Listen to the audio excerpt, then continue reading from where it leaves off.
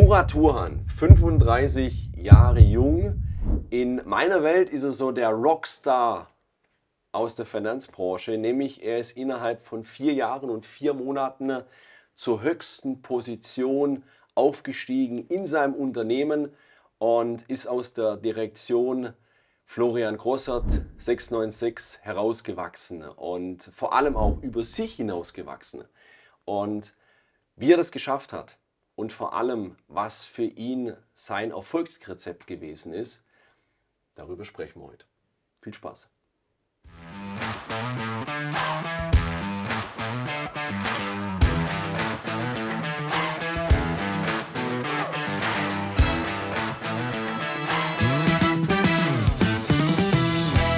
Erstmal danke, dass du dir die Zeit genommen hast. Ist auch nicht selbstverständlich. Gerne. Und wir hatten ja gestern Abend schon beim Essen das ein oder andere gute Gespräch gehabt, wo wir über Erfolg gesprochen haben. Und ich glaube, äh, diejenigen, die jetzt ähm, sich das Video gerade anschauen, die stellen sich wahrscheinlich auch die Frage, wie schafft man es in seinem Bereich innerhalb von vier Jahren und vier Monaten zur höchsten Position aufzusteigen. Du warst gelernter Steuerfachangestellter, genau. ähm, Fußballprofi ja. und jetzt auf einmal Finanzvertrieb. Verrückt. Hau mal raus. Erstmal danke, dass ich hier sein darf und willkommen in meiner Stadt. Wa? Berlin Gerne. ist ja äh, meine Heimatstadt. Äh, ich ja. bin froh, euch hier zu haben. Äh, ja, was soll ich sagen? Also ich habe äh, Fußballkarriere irgendwie äh, versucht oder ich habe versucht, ähm, den, den Weg des Fußballers so ein bisschen zu gehen. Und äh, ja, war damals so ein bisschen mein Traum, weißt du. Bis ich 23 war, ähm, war ich in den höheren Ligen unter Vertrag ja. Was heißt höhere Ligen? Wo, wo hast du da gespielt? Ja, ich war bei Schalke 04, habe es aber nicht ganz in die Profikader okay. gesch äh, geschafft. Da war ich in der Amateurmannschaft. Dann bin ich zurück nach Berlin. Ja. War in der, äh, in der Amateurmannschaft von Union Berlin. Ja. ja. War der Weg halt ein bisschen kürzer ja. in die Profimannschaft. Äh, und dann ähm, war ich dann noch in der Regionalliga. Äh, habe ich dann noch in der Regionalliga ja. gespielt. Ja. Und dementsprechend, äh, ich habe drei ältere Schwestern, also okay. ich bin sehr familiär bezogen. Und, äh, der einzigste Bruder, oder? Ja, genau, der jüngste. Okay. Der jüngste, ja. Okay. ja, ja. Und danach äh, okay. kamen meine Schwestern immer an, meinten sie, du musst noch eine Ausbildung machen, ja. ja, kannst du nicht alles auf die Karte Fußball setzen. Und dementsprechend habe ich mir eine Ausbildung gesucht, dann zum Steuerfachangestellten. Ja. Ganz normale Ausbildung. Ja, du, ja, aber ich sage dir ganz ehrlich, war auch ein bisschen trocken, muss ich sagen. Ja. ja alle, die sich mit dem Thema Steuern beschäftigen, ist, äh, ist halt nun mal ein bisschen trocken. Aber im Endeffekt, äh, ja, war es eigentlich eine gute Ausbildung. Mhm. Und Fußball war dann so ein bisschen Ausgleich auch dazu. Mhm. Ja, weil ich glaube, ohne Fußball wäre es dann auch nicht so einfach mhm. gewesen, einfach die Ausbildung mhm. ähm, abzuschließen. Ja, und dann äh, wollte ich aber einfach mehr, weil ich war immer reiseverrückt. Mhm. Ja, du kennst mich. also für all diejenigen, ja, unbedingt mal folgen, auch auf Instagram, Murat Turhan. Äh, der Kerl, der lebt wirklich diesen Lifestyle von Work-Life-Balance, wenn ich das mal kurz so reinhauen darf. Ja. ja? Also viele sagen ja immer, ja, äh, ich tue gern reisen, aber irgendwie tun sie es dann irgendwie nicht. Und der Kerl, der arbeitet hart, also work hard und äh, wie sagt man so schön und äh, play hard, work hard, play hard. Ja, ja, also das ist wirklich so, jedes Mal, wenn ich bei dir auf Instagram drauf schaue, dann bist du entweder mega gut gelaunt in Buenos Aires unterwegs oder auf Ibiza, ja, so, ja. Ähm, braun gebrannt. Und äh, wenn du dann wieder zurückkommst, bist du einfach mega am Hasseln, sitzt in deinem Auto drin, gute Laune. Für ja. mich bist du auch dieser Inbegriff von guter Laune. Ja. Jetzt, jetzt Frage, ist es bei der, äh, im, in deiner Familie schon immer so angeboren gewesen oder hat sich das entwickelt oder hast du da vielleicht mal einen Ansatz dazu? Nee, nee, ich muss echt sagen, das hat sich entwickelt. Ja. Also ich bin eigentlich der Einzige in der Familie, der extrem positiv ist. Ja. ja hat sich aber auch mit der Zeit einfach entwickelt. Ne? Ich habe mich ja natürlich auch persönlich in der. Selbstständigkeit jetzt entwickelt. Und äh, ja, also zu dem Thema Reise verrückt sein, das war so mein Motiv. Also ich wollte mich einfach selbstständig machen, ich wollte mein eigener Chef sein und dementsprechend habe ich mich dann für die Finanzbranche entschieden. Mhm. Ja, klar mit meinem Mentor und Direktionsleiter ja. Florian Grossart ja. ja. ein persönliches Verhältnis gehabt und dementsprechend äh, kam dann irgendwann der Kontakt äh, zustande, auch äh, in dem Business einfach mal zusammen eine Vision zu gestalten und zu sagen, okay, lass uns das mal zusammen aufbauen. Und dann habe ich die Möglichkeiten erkannt. Wie kam das? Wie kam das? Hat er bei dir angerufen und hat gesagt, pass auf, äh, Muri, komm rüber, da ist die Wiese grün und zwar schmeckt klarer oder Reisen for free oder, oder ja, fies, fies, pass, auf, pass auf, pass auf, Wirklich lustig. Er ruft mich an, ich kannte ja. ihn über ähm, Fußballer kennen sich halt untereinander ja. in Berlin und dann hat er mich angerufen und hat gesagt, du sag mal, ja, ist eigentlich auch so fast so ein Spruch von euch, ja, ja äh, wenn es um Reisen geht, ja, nach Spanien, explizit Ibiza, ja, dann habe ich gehört, muss man sich in Berlin an dich wenden. Das war wirklich sein Spruch. So, ich meinte, ja, cool. ey, wir kennen uns ja von cool. dem und dem. Und dann, so ist der Kontakt entstanden, ja. Da habe ich ihn irgendwie die Reise so ein bisschen organisiert. Mhm. Und äh, ja, im Endeffekt, ich hatte echt Spaß dran, ne? Ja. weil es ja meine Insel ist. Dann wollte ich ja, weißt du, man will halt anderen Leuten so ein bisschen. Was repräsentieren. Genau. Okay. Ne? okay so. Cool. Und dann wusste ich, okay, der kommt dann nach dem Urlaub an und meinte, ey, unfassbar Wahnsinn. Und äh, dann haben wir auch mal einen Urlaub zusammen verbracht und da sind dann die ersten Gespräche auch entstanden. Mhm. Und äh, ja, dann hat man einfach auch ähm, ja, sich entschlossen, dann äh, gemeinsam auch ein Business zu starten. Mhm. Ja. Und ja, das ist jetzt daraus entstanden. Ja. Und das war einfach mein Motiv. Ja. ja. und das kann ich auch nur allen ans Herz legen. Ja. Ihr braucht ein Warum. Mhm. Das ist ganz wichtig. Ja, für, die, für den einen ist es Geld, für den anderen ist es äh, Unabhängigkeit mit der Familie, mhm. Reisen etc. Mhm. Ja, und das hat mich halt extrem angespornt. Cool. Und daran habe ich wirklich irgendwie gefühlt jede Nacht, jeden Morgen irgendwie gedacht, ich bin mit den Gedanken eingeschlafen und mit den ja. Gedanken wieder aufgewacht. Und ich glaube, dann entsteht auch ein extremer Fokus. Cool. Also ich mag mal kurz festhalten. Bei dir war es so, du hattest äh, zumindest das, was du gerade gesagt hast, äh, Mori, bei dir war dieses Motiv, glaube ich, reisen können, ja. Immer und zu jeder Zeit. Ja. Nicht irgendwie in diesem Hamsterrad zu sein, genau. sondern wirklich auszubrechen, ja. auch eine andere Persönlichkeit zu werden. Jetzt gibt es ja viele junge Leute, die starten.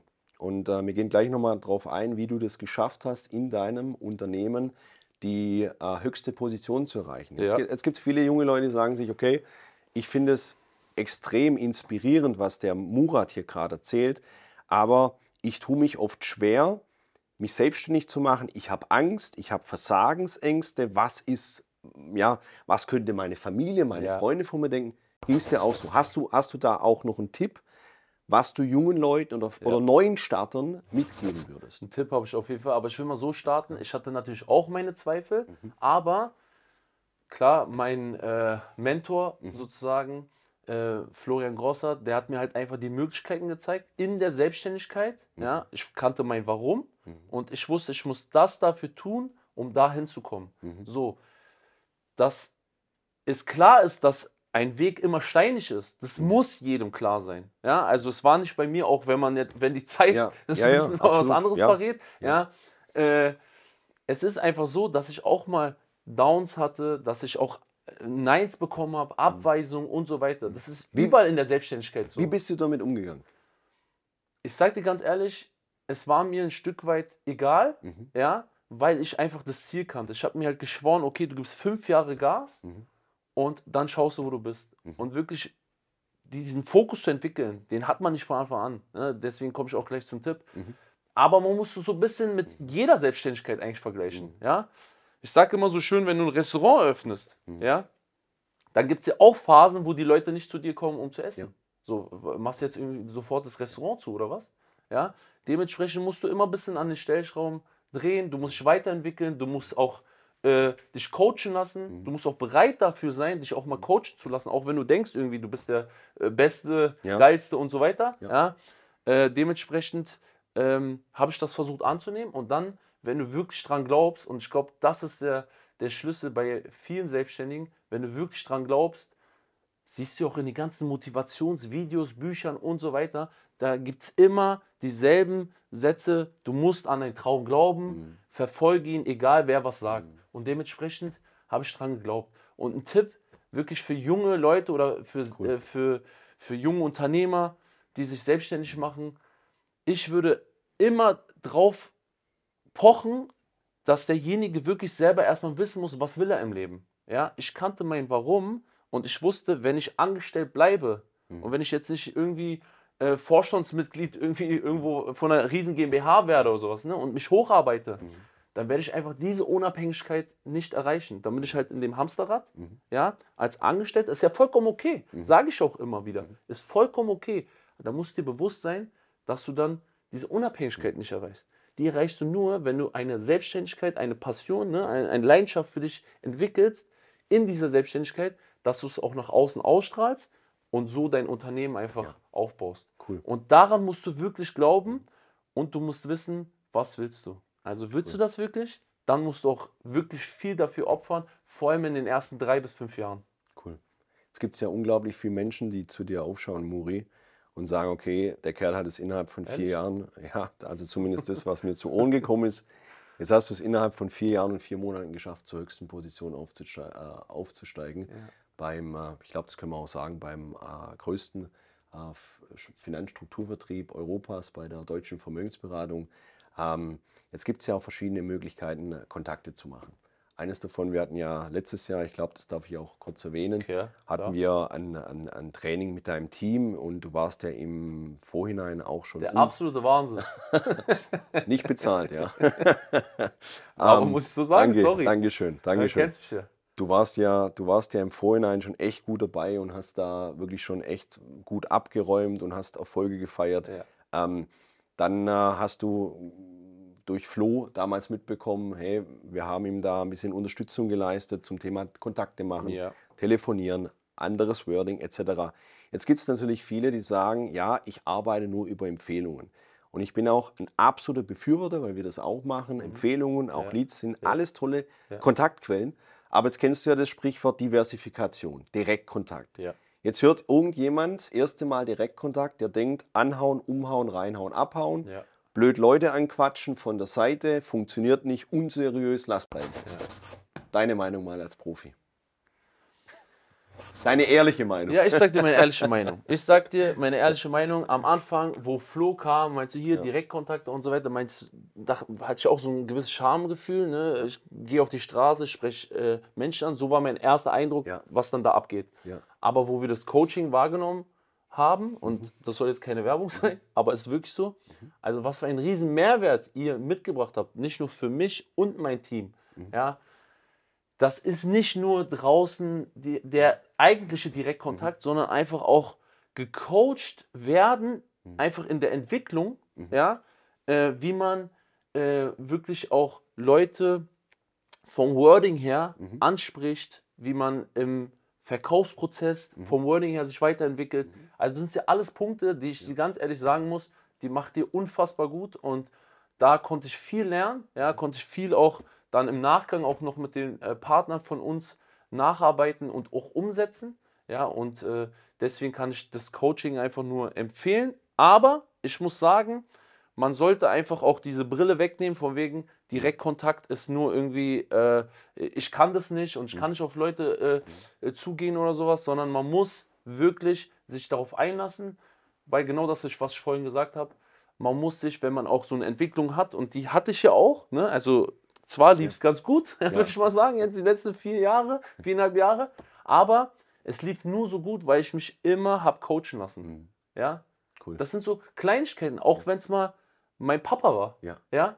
Der mit meiner Materie gar keine, der hatte gar keine Berührungspunkte. Der wusste gar nicht so, äh, was ich irgendwie mache die ersten zwei Monate. Aber äh, trotzdem seine Erfahrung, mhm. ja, die in gewissen Sachen mitbringt, davon lerne ich. Mhm. Von meinem Mentor lerne ich. Von euch habe ich mhm. gelernt. Und das sind einfach Punkte, die man als Unternehmer, wenn man wachsen will, einfach mitnehmen muss. Und deswegen. Können wir, können wir zusammenfassen? Potenzialentfaltung, unglaublich wichtig. Ja. ja.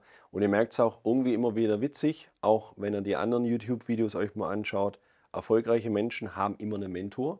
Erfolgreiche Menschen sind immer offen, neue Dinge anzunehmen, neue Perspektiven einfach ja. auch mal, äh, vielleicht ja aus einem ganz anderen Blickwinkel das Ganze zu betrachten. Ja.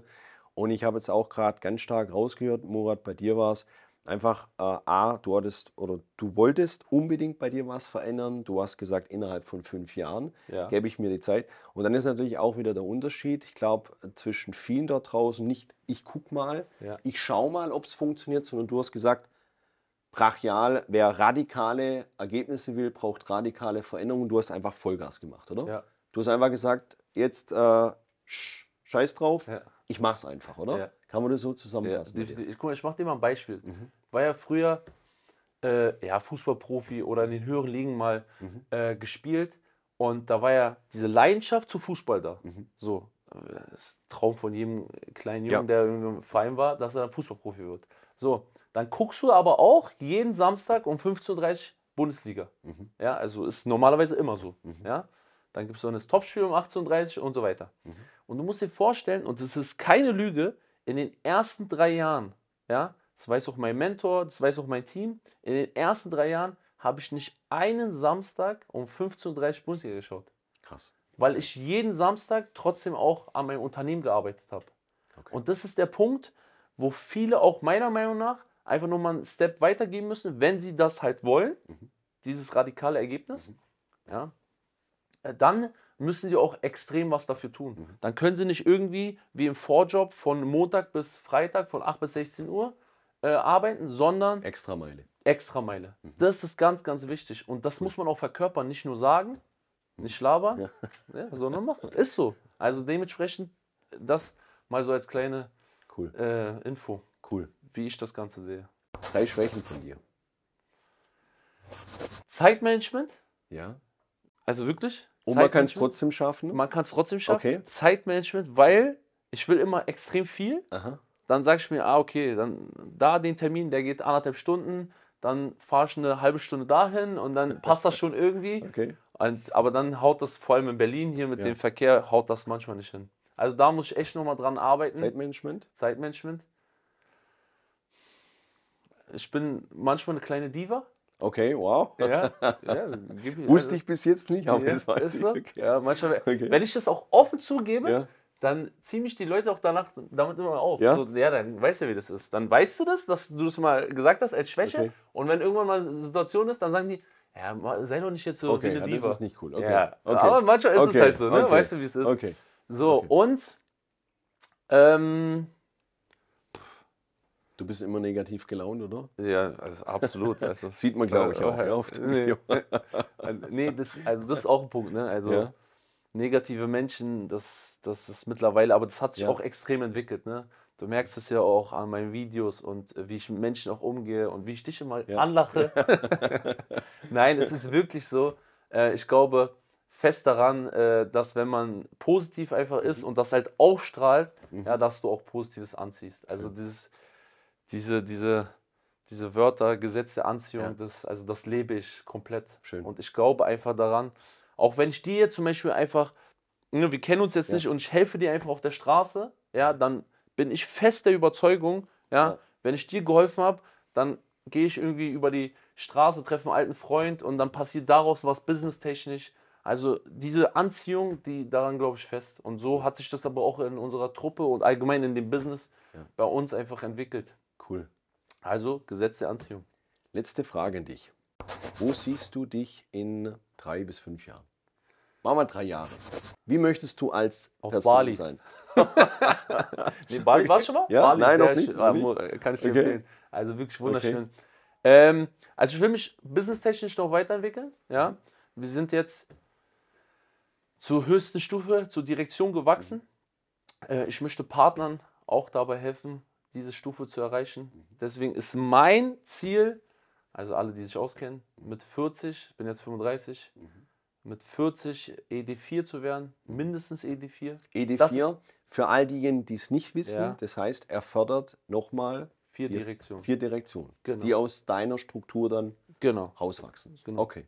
So, das ist so. Ist ja auch wieder, spricht ja auch wieder für dich, weil dieser Teamgedanke. fünf Jahre. Genau. Und, und dieser Teamgedanke ist ja auch wieder äh, was Tolles. Ja. Und definitiv. vor allem, ich glaube, wenn man, wenn man das auch noch mal kurz einwerfen darf, äh, Strukturvertrieb, weil es ja bei vielen immer gleich mit Schneeballsystem ja, und anderen ja. negativen Sachen, obwohl jedes Unternehmen ja auch ja. wie ein Pyramidensystem aufgebaut ist. Ja. Mhm. Ähm, die, das Schöne ist ja immer dieses Fordern und Fördern. Du mhm. forderst ja und förderst neue Menschen, die sich an dir orientieren dürfen und du erzählst deine Vita und die Leute können sagen, geil, da mache ich es ja einfach nur wieder Muri und in meinem Tempo. Ja, so eine Art, genau. Ja, also dementsprechend musst du halt mit den Leuten einfach die Vision verfolgen. Also jeder hat seine eigene Vision, ja. jeder hat sein eigenes Tempo, ja. hast du genau perfekt äh, erwähnt und dementsprechend musst du halt, genau so gehe ich auch in die Gespräche, was ist dein Warum, was wollen wir für eine Vision verfolgen, willst du das mhm. mit einem schönen Team Ja, willst du es mit Mitmenschen mhm. verfolgen oder willst du das alleine? Ist auch vollkommen okay. Äh, als äh, Berater. Also da gibt es ja viele Möglichkeiten bei uns im Unternehmen und dementsprechend äh, fördere ich die Leute so, wie sie es möchten. Aber ich bin auch ein Mensch, ich gebe sehr viel, mhm. aber ich gebe auch nur das, wenn mir jemand äh, auch 100% zurückgibt. Was machst du mit Menschen, vielleicht noch ganz kurz, die, ähm, ja, die dir leere Versprechungen abgeben? Also die fangen an, machst du einen Testballon ja. über einen gewissen Zeitraum, ja. wenn einer frisch startet, weil reden kann jeder, ja. Ja, aber machen ist ja so dieses goldene ja. Wie, wie, wie, wie, siehst du das als Profi? Ja, also da ich ein ja? positiver Mensch bin, ja, gehe ich damit auch positiv um. Das bedeutet, dass ich mit den Menschen einfach dann offen und klar spreche. Hm. Also ich versuche da wirklich eine klare Linie zu fahren und sagen, nach so einer Testphase ja. beispielsweise, äh, wenn es nicht funktioniert hat, dann werde ich nochmal äh, darauf zu sprechen kommen, ja, was für eine Vision wir am Anfang hatten. Da hast du mir gesagt, du möchtest diese Unabhängigkeit, das ist dein Warum, mhm. du willst Gas geben, hat aber nicht so geklappt. Mhm. Dann ist es kein Problem und da bin ich halt auch jemand, der dann sagt, okay, also lässt du los. Ja, entweder hast du Bock, wirklich ja. diese Vision mit uns weiter zu verfolgen, ja, hast jemanden, ja. der dich komplett unterstützt, ja, ja. weil so habe ich es auch erfahren von meinen Mentoren und äh, oder gar kein Problem, mhm. dann äh, können wir gerne noch einen Kaffee trinken gehen immer und äh, uns in die Augen schauen können, aber dann cool. passt es halt beruflich nicht, aber ist doch nicht schlimm. Also. Ja, du hast ja auch deine Freunde, ich habe meine genau. Freunde. Genau. Ja, nicht die ganze Welt äh, müssen meine Freunde genau. sein. Ne? Aber mögen, beruflich und privat ist ja was anderes. Mhm. Von daher, cool. Genau. Cool. Also, fassen wir zusammen. 35 Jahre jung, eines der schnellst wachsenden Direktionsleiter. Du bist ein Mensch, der unglaublich getrieben ist, auch vom Erfolg. Natürlich äh, nicht nur für sich selbst, sondern auch andere Menschen mitzuziehen, mitzureisen. Du bist ein Mensch, der sehr positiv, ich würde sogar sagen, optimistisch eingestellt ist, weil okay. positiv ist man ja nicht immer, sondern ja. optimistisch kann man ja auch mal schlecht drauf sein, aber man sieht das große Ganze. Ja. Du bist jemand, der noch Ziele hat in den nächsten Jahren, der, ja, der einfach äh, ein Mensch ist, der andere Menschen inspiriert und ja. vor allem auch äh, deine, deine, deine Lebensreise, die du bisher beschritten hast, äh, so viele ähm, Niederschläge, die du wahrscheinlich auch erfahren hast in den, letzten, ja. in den letzten Jahren, hast du trotz alledem das Beste aus deiner Version gemacht. Und ähm, ich möchte mich vorab nochmal bei dir bedanken, dass du dir die Zeit genommen hast, Gerne. weil du bist echt äh, in meiner Welt so ein geiles Stück DNA. Ja? du, du lebst es wirklich oder du verkörperst es wirklich, was du auch in Social Media darstellst. Da ist es nicht fake it until you make it oder ja, sondern du bist es auch wirklich. Und wenn ihr noch irgendwelche Fragen habt, wenn euch äh, irgendwas auf dem Herzen liegt und ihr sagt, hey, ihr möchtet vielleicht noch dem Muri noch mal eine persönliche Frage stellen, dann könnt ihr es entweder unter diesem Video machen, ja, also äh, abonnieren, Glocke, kommentieren, ihr kennt ja das ganze Spiel, stellt gerne eine Frage unter dem Video und äh, ich denke, dann wird auch Muri mit uns gemeinsam auf die eine oder andere Frage drauf eingehen. Oder aber ihr sagt, hey, ich möchte eine ganz spezielle Frage dem Muri stellen, mal unabhängig von YouTube, dann äh, blenden wir im Nachgang auch noch einen, folgt dem Muri auf Instagram und da könnt ihr unglaublich viel Mehrwert euch von dem Kerl rausziehen. Ich sage ganz lieben Dank, wirklich wünsche dir von Herzen weiterhin nur das Beste, dass all deine Träume, Wünsche in Erfüllung gehen und vor allem das Wichtigste überhaupt, bleib gesund. Du hast auch, du noch, Hast du noch was zuletzt ihr an die Zuschauer? Ich überlasse dir das letzte Wort. Nö, ich würde sagen, wir machen uns jetzt noch eine gute Zeit hier. Okay. Trinken einen schönen Kaffee. So machen ja, wir's. und freue mich auf die Zukunft. Tschüssi. Ciao, ciao. Murat Turhan, 35 Jahre. Äh, 35 Jahre.